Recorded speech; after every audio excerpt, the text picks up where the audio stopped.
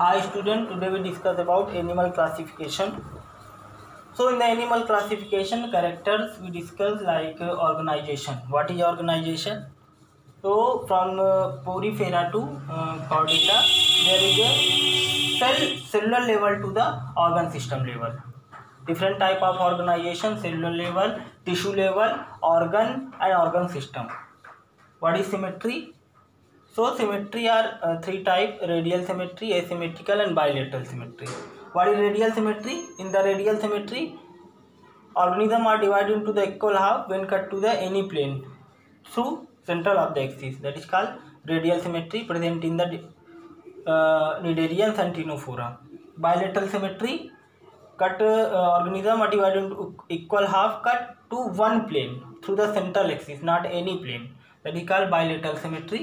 present in the platyhelminthes, escalminthes and larvae of echinoderms that is coelom coelom that is called presence absence of the body cavity in the body and the gut wall that is called coelom coelom different type aceolom pseudocoelom and coelom germ layer germ layer are generally three type ecto endo and meso organism are diploblastic containing two germ layer ecto and endo and three germ layer, that triploblastic, uh, ecto, meso and endo.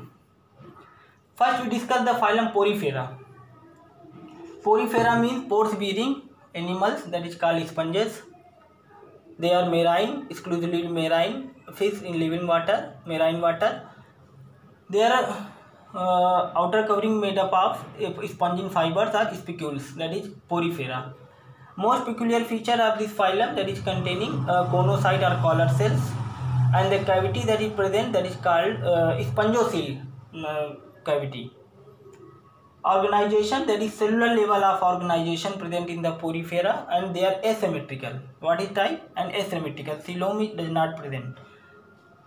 So in the porifera, the the canal system very important feature that is canal system they containing small pores called ostia and osculum. Through the ostia,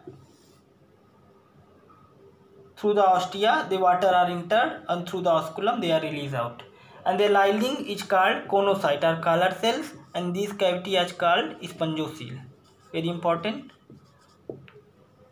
So this canal system help to uh, adhere the food particles and uh, removal of substance that is function of canal system. Porifera, that is uh, spongula, spongia, euspongia, uh, uh, that is example of porifera. Next we move to the Cnidaria, also called ciliatrate, very important. So in the Cnidarian they having organization, that is tissue level type body organization, and symmetry, that is radial. What type of symmetry? radial symmetry divided into the equal half when cut to the any plane through the central axis and germ layer that is diploblastic diplo means two germ layer ecto and endo are present mesoderm are absent and the uh, absence of mesoderm there is a cavity called mesoglia present that is a feature of nidaria and another important fe peculiar feature of nidaria they are called nidaria because they having nidoblast cells nidoblast what is type nidoblast they are stinging cells that are uh, present in the tentacles nematocyst capsule which help to capture the prey and also in defense that is called nematocyst very important so uh, in the nidaria when you see they are two life form that is called polyp and medusa very important polyp that is a long cylindrical structure which fixed to the substratum that means they are sessile and tentacles upward that is called polyp present in the hydra adamsia medusa that is umbrella in shape free living swimming and uh, tentacle downwards that is called polyp and medusa another feature of cnidarian they having blind sac body plan only one opening that is mouth are present anus is absent that is called blind sac body plant very important example of cnidarians aurelia that is jellyfish hydra um, that is uh, and penatula um, physalia portuguese man of far and etc next there is tenophora that is also radial symmetry and uh, that are having diploblastic and uh, tenophora is uh, containing calm plates uh, also called calm jelly which help in the locomotion and this tenophora very important feature that is bioluminescence Bioluminescence means living organism having ability to uh, emit the light. That is a very important feature of dinophorans. Next, platyhelminthes. Platy, what you mean of platy? That is called flat worms. They are helminth, that is called flat worms. So in the platyhelminthes, the body organization, that is organ level, which type of organ, and the symmetry, that is bilateral. What type of symmetry? Bilateral. in the bilateral you know, one plane uh, through the central axis or prism are divided into the two halves that is called bilateral symmetry and coelom that is acoelom acoelomate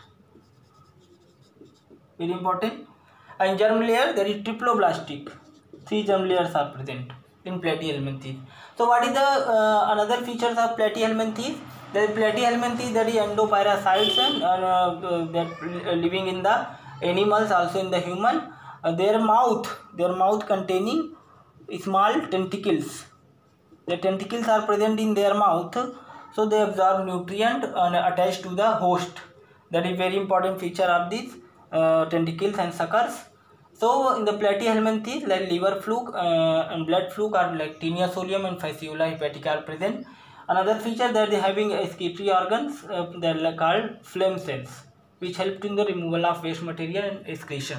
Very, important. Next, Scalminthe.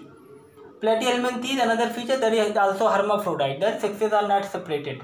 Scalminthes that is um, um, uh, round uh, ones like scaris.